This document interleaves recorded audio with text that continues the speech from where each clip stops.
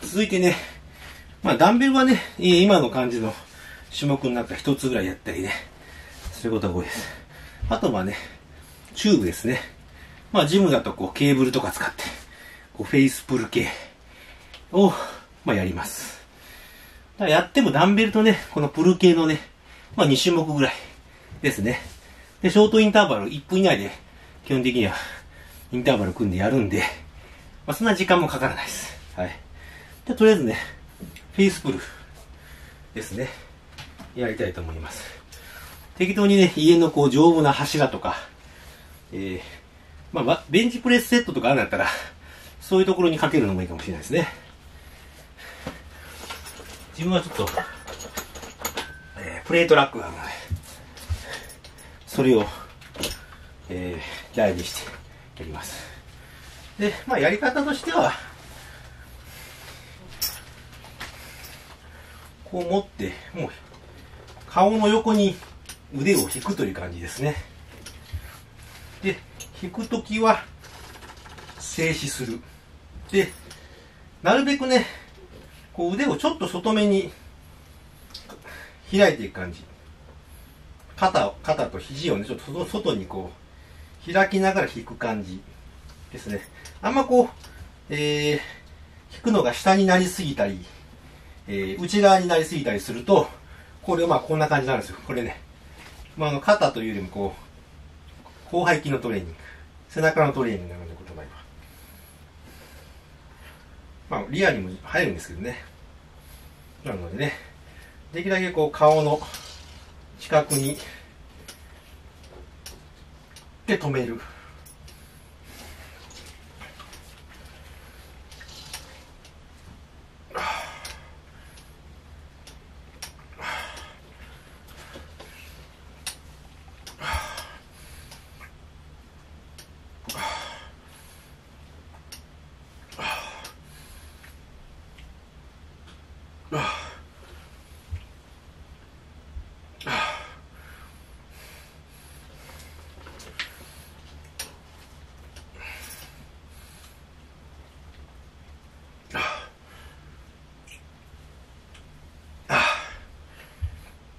止める。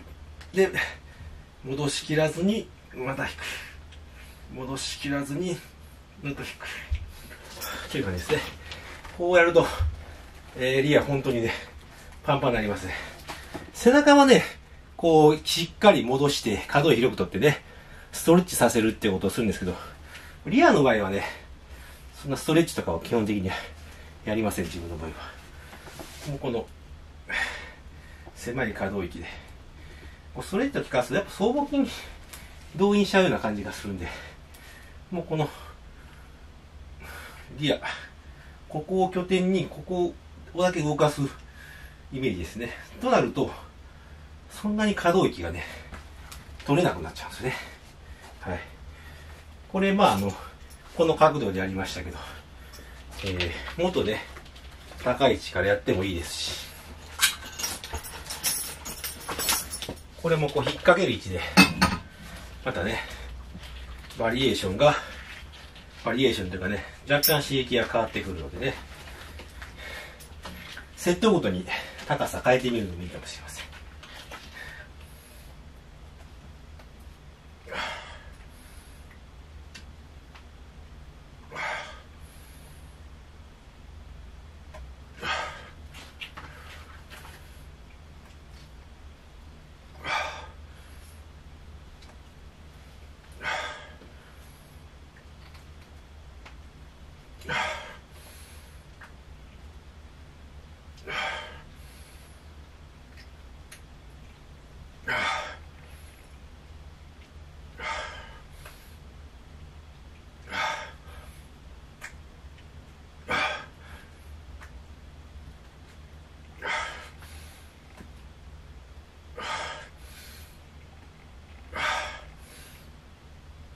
ああちょっと危ないですねピョンって外れちゃうとちょっとドリフのコントロールでバチンってねえー、ちょっと一人で事故起こしちゃうかもしれないですけど、まあ、なるべくねほんまにあの、えー、安定したねしっかり固定できるものに引っ掛けた方がいいと思います。はい。あと、まあ、チューブだと、さっきちょっとこう、プル、プル系でね、フェイスプルやりましたけどね。あと、まあ、この、ジムでよくあるリアデルトマシンですね。こう、この、この動きですね。この動きもね、チューブで全然やれるので、これでね、引っ掛けて、引っ掛けて、でそれをこう、持って、こうやってやると。で、引く時もね、あの、よくジムでリアデルトマシンってあると思うんですけど、あの、どっちかって小指側ね、小指側がからこう、押し出す感じ。ね。手のこの、小指、このそ小指の側面からこう、こう押し出す感じで、えー、マシンってなってると思うんですまあ、そのね、軌道と同じです。小指の方からこう、ですね。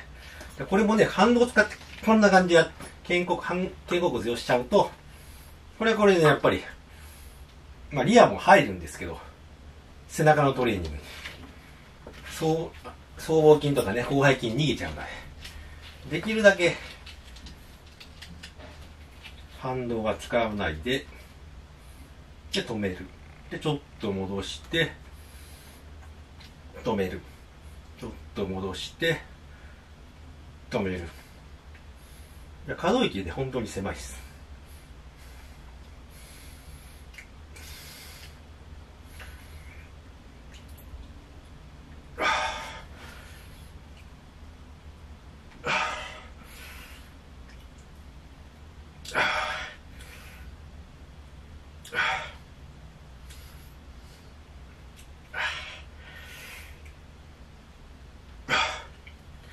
で、どうしてもね、最後も上がらなかった時にちょっとだけね、ちょっとこう反動使って限界まで、やってやってもいいかもしれない。限界まで追い込めるんで。はい。チューブはね、いいところは、常に負荷が抜けないというのがあるのでね、こういう軽いふあの重量、軽い負荷で、常に、あの、こう筋肉をね、えー、緊張させさせるっていうね、種目には向いていると思います。はい。以上ですね。だいたい自分の場合は、さっきのダンベル、リアレイズ系とこういうプル系ですね。まあ、チューブ、ケーブルを使ったプル系。この二つで、えー、だいたい2日に一遍ぐらい、えー、リアはやるようにしてます。はい。